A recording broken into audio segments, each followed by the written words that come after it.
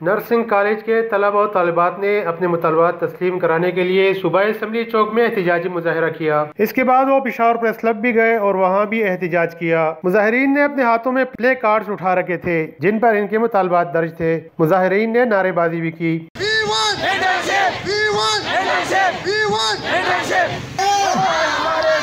हम ज़मीन से देने निकले हैं हम ज़मीन से देने निकले हैं ईमान! ईमान! मुजाहरीन ने स्टडीज़ इंटर्नशिप की सहूलत टाइपन और उसके बकायाजात की अदायगी और रिहाइश की सहूलत देने का मुतालबा किया। यकीन दहानी करवाता हूँ कि जितनी भी नर्सेस हैं जो अभी जॉब पर है या आप लोगों के शाना बशाना होंगे खुद को अकेला न समझिए। ये पहले दिन पे कल भी कहा था कि ये सूबे भी बंद कर सकते हैं। लेकिन इंतज़ार नहीं चाहते वक्त देना चाहते हैं। आप लोग सब्र और तहमुल का मुजाहरा करें।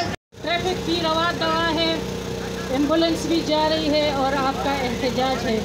मैं आपके साथ यकजहती के लिए आई हूँ और मुझे अफसोस हो रहा है कि इस यकजहती में शरीक हूँ क्योंकि आज हमने अपनी बच्चियों को सड़क पे ले आए हैं।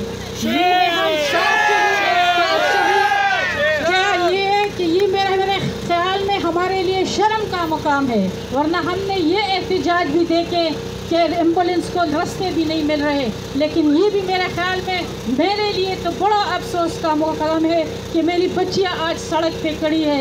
ये तो वो हुकूमत है जो खवातीन के हक के लिए आवाज़ उठा रही है। हम खवातीन को उनका हक दे रहे हैं। ये तो वो हुकूमत है जो कहती है कि हम सबसे ज़्यादा खवातीन के लिए और बच्चों के लिए और तालीम के लिए आगे आए हैं फिर किधर है इनके स्टेफन, फिर किधर है इनके हॉस्टल, फिर किधर है इनकी इंटर्नशिप अगर हम इनको इनका हक नहीं दे सकते तो मेरे ख्याल में जो ये लोग अपने सियासत के लिए और इलेक्शन के लिए इस्तीफ़ा दे रही है, इनको इस चीज़ पे इस्तीफ़ा देना चाहिए।